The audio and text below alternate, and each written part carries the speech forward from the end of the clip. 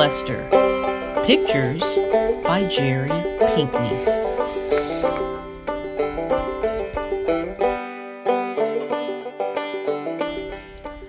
You have probably never heard of John Henry, or maybe you heard about him, but don't know the ins and outs uh, of his comings and goings. Well, that's why I'm going to tell you about him. When John Henry was born, birds came from everywhere to see him. The bears and panthers and moose and deer and rabbits and squirrels and even a unicorn came out of the woods to see him. And instead of the sun tending to his business and going to bed, it was peeping out from behind the moon's skirts, trying to get a glimpse of the new baby. Before long, the mom and papa came out on the porch to show off their brand new baby. The birds oohed and the animals ah at how handsome the baby was. Somewhere in the middle of one of them oohs, or maybe it was the backside of one of them ahs, that baby jumped out of his mama's arms and started growing. He grew and he grew and he grew. He grew into his head and shoulders busted through the roof, which was over the porch. John Henry thought that was the funniest thing in the world. He laughed so loud the sun got scared. It scurried from behind the moon's skirts and went to bed, where it should have been all the while.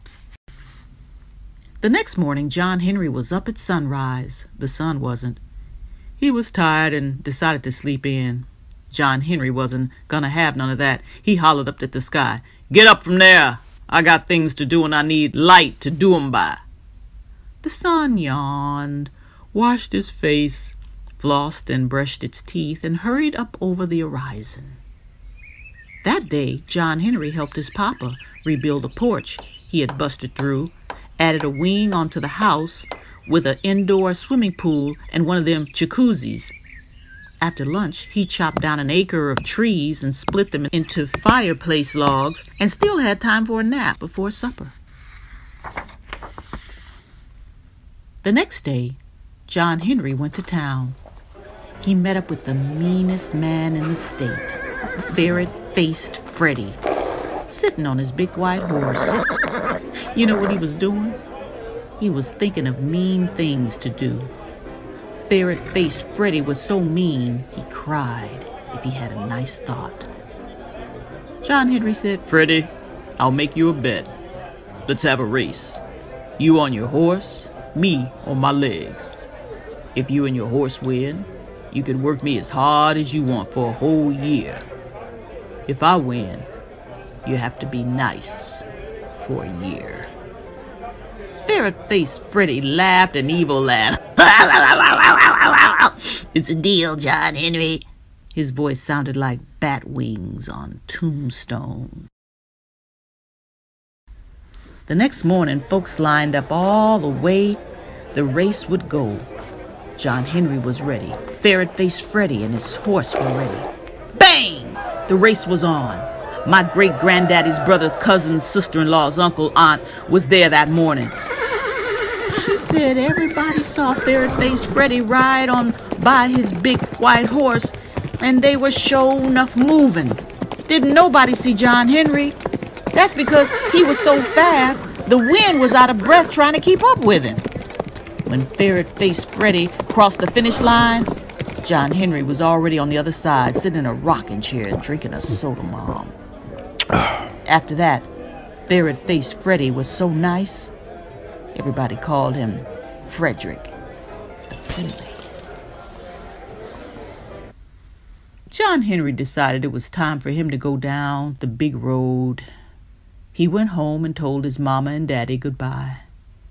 His daddy said, You got to have something to make your way in the world with, son. These belong to your granddaddy.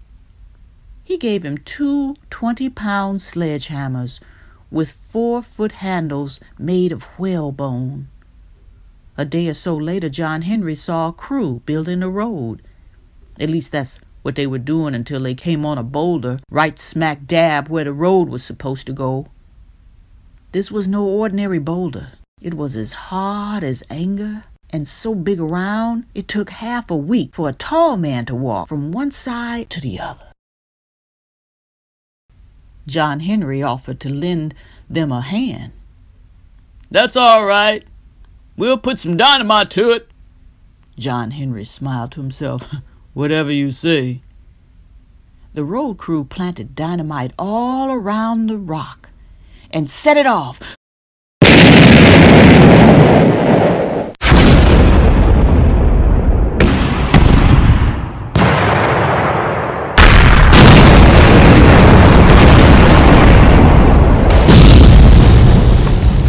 Dynamite made so much racket, the Almighty looked over the parapets of heaven and hollered, It's getting too noisy down there!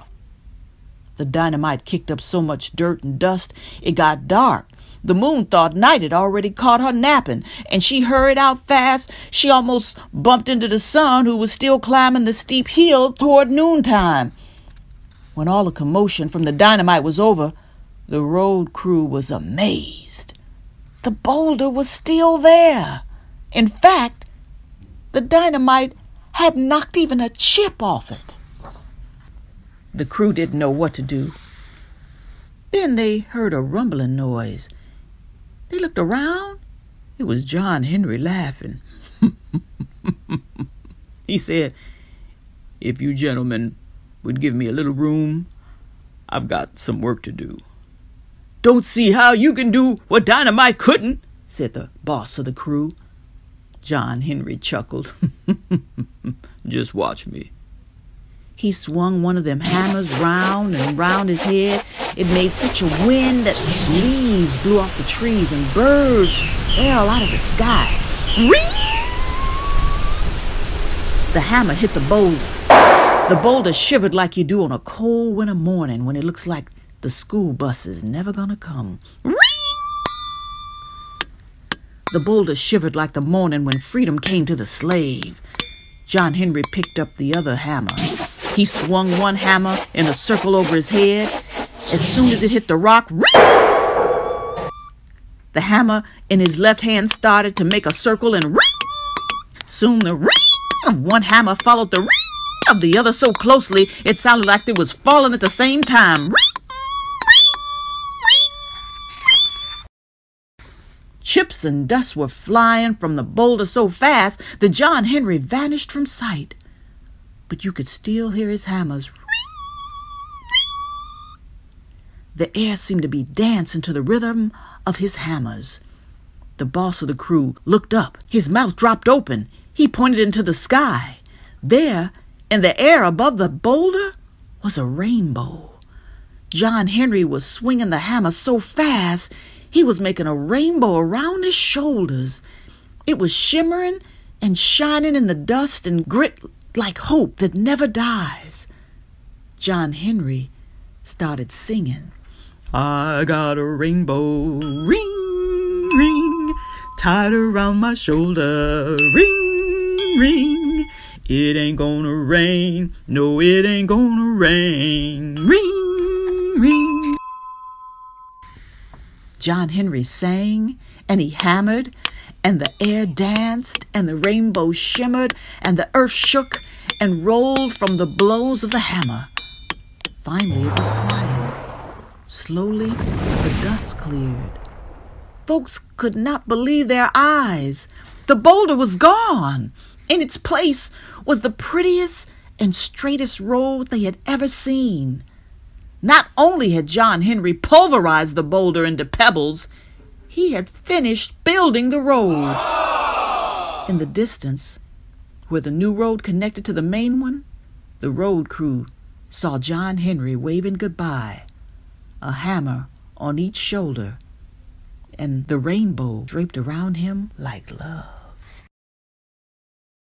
John Henry went on his way. He had heard that any man good with a hammer could find work building the Chesapeake and Ohio Railroad through West Virginia. That was where he had been going when he stopped to build the road. The next day, John Henry arrived at the railroad. However, work had stopped. The railroad tracks had to go through a mountain. And such a mountain. Next to it, even John Henry felt small.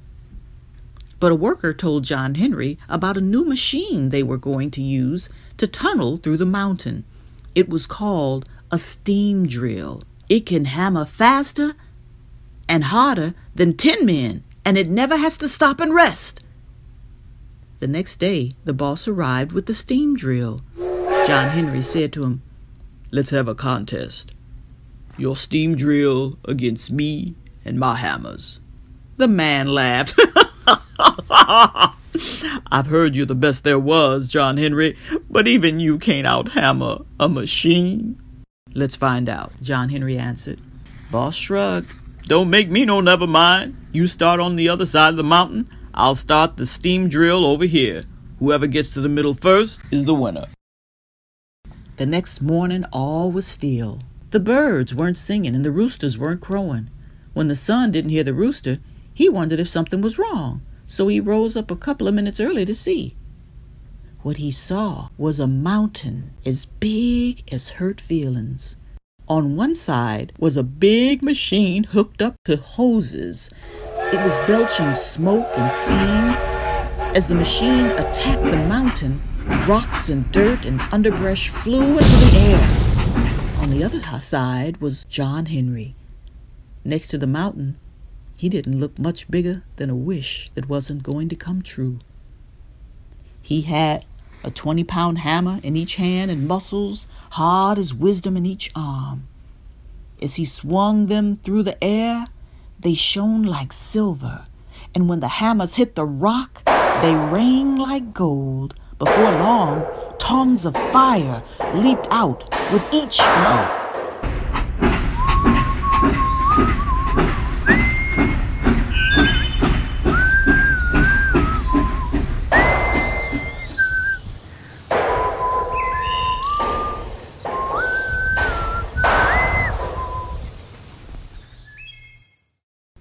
On the other side, the boss of the steam drill felt the mountain shudder.